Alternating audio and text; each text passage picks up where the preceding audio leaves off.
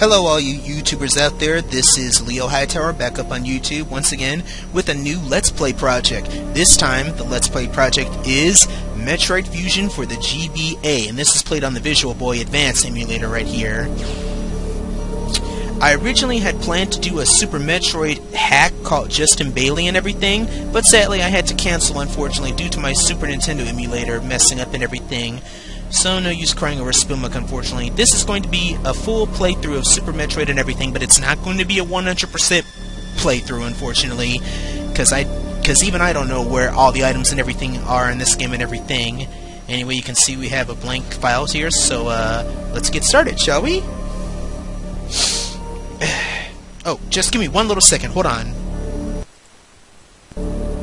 But yeah, sorry about that had to pause the video real quick. But anyway, let's get started, shall we? I had been assigned to watch over Biologics research team, so I once again found myself on the surface of SR-388, the homeworld of the Metroids. There's the infamous bounty hunter we all know and love.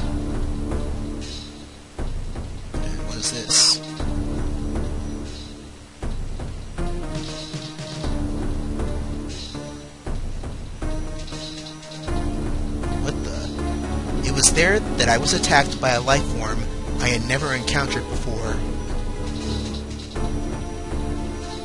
It was only later that I learned the identity of my attacker, the parasitic organism we now know as X.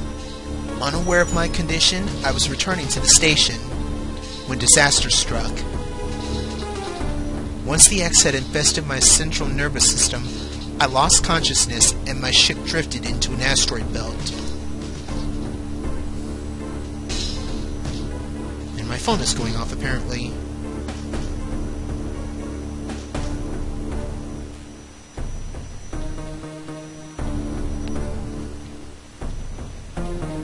The ship's emergency systems automatically ejected the escape pod before impact.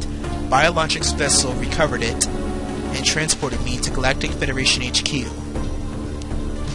However, during the journey, the X multiplied within me corrupting large areas of my power suit. It then came to light that the organic components of my power suit had become so integrated with my system that it could not be removed while I was unconscious. Large portions of my suit had to be surgically removed, dramatically altering my physical appearance. Oh, that's unfortunate. However, the X in my central nervous system were too embedded to be removed safely. I was given a minimal chance of survival. Uh-oh. Then someone found a cure. Really? They proposed using a Metroid cell to make an anti-X vaccine. It seems that the Federation had managed to preserve a cell culture from the last infant Metroid from SR-388. Ah, the baby Metroid.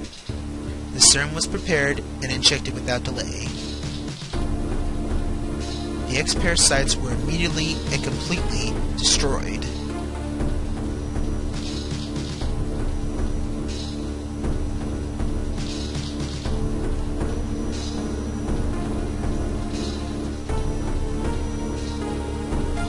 As for me, one life ended, yet I survived, reborn, as something different.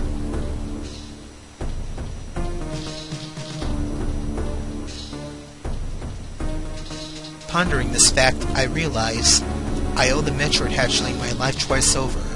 That's right.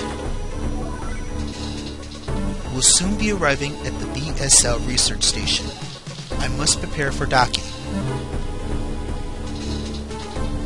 The ship's computer has notified me of our approach to the Biologic Space Labs, or BSL research station. During my surgery, research team sent the last batch of creatures we captured there, as well as the infected pieces of my power suit. After regaining consciousness, I learned that an unexplained explosion rocked the station. For some reason, this awoke a nameless fear in my heart, and now I'm being sent there to investigate. My mission on the BSL station will be overseen by my new ship's computer. Following the commands of this blunt computerized commanding officer is something I have to bear, as it was a condition for my taking the ship. For someone who dislikes taking orders, This is the second time I found myself having to do so. It makes me recall my other commanding officer. And we'll be talking about him much later on as the game progresses. But for now, after a long introduction, we can finally get started with this LP of Super... I mean, I'm sorry, not Super Metroid, but Metroid Fusion. and this right here is one of my favorite Game Boy Advance games of all time. You have no idea. I actually got this game as a birthday gift back then. Downloaded the map, and here we go. There's been an explosion in the quarantine bay. The bay currently stores capsules containing recent samples from SR-388, as well as your parts, as well as parts of your suit infected by the X-parasites.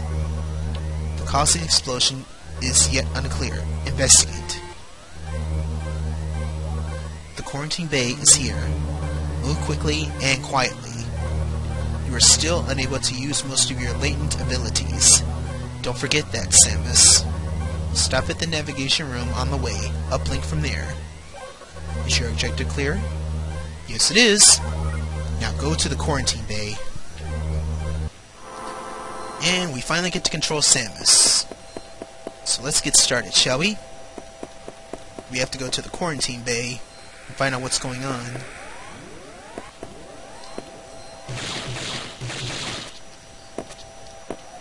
That right there is a red hatch, and we can't open it right now, even with missiles. The one thing I like about this Metroid game right here is that you can latch on to certain uh, ledges and stuff. You also could do that later on in uh, Metroid Zero Mission. We're on the main deck right now, so let's continue on. And we uplink right here. The quarantine bay is ahead. Biosigns are confirmed. Be careful. Something's in the quarantine bay, huh?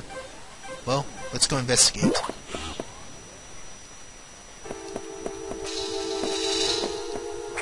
Ooh, I love this creepy, ominous music.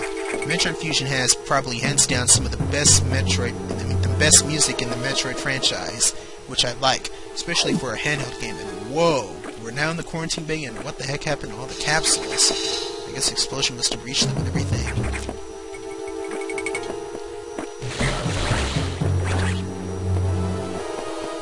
It's an X-parasite.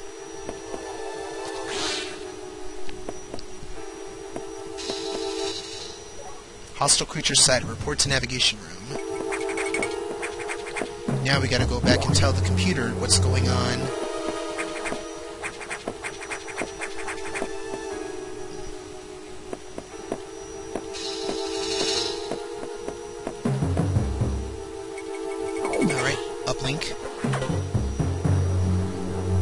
This is unfortunate news. The specimens brought back by the field team were infected by X parasites.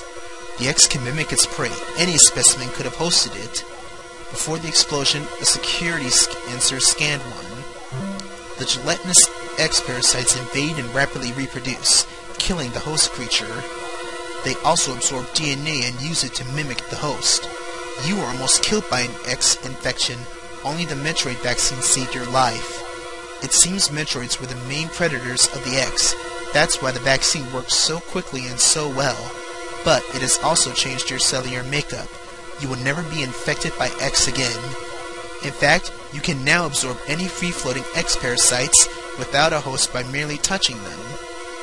Huh. This will allow you to replenish health and restore weapons. Awesome!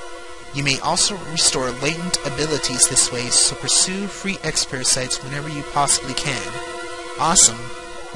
This station is home to many species, some violent ones. We must keep the X out of the breeding environments at all costs. This is vital, Samus. Hmm. I am already detecting massive biosigns in this region. The X are gathering. No, that's not good. This may be our chance to exterminate them, but you are only at 10% battle capacity. Your chance of survival is extremely low. The Federation needs you alive and on duty, Samus. Hmm. Is your objective clear? Yes, it is. Now get moving. I've released the locks on level 0 hatches. Look for the blinking hatches. Now we can open up lot hatches that are blinking.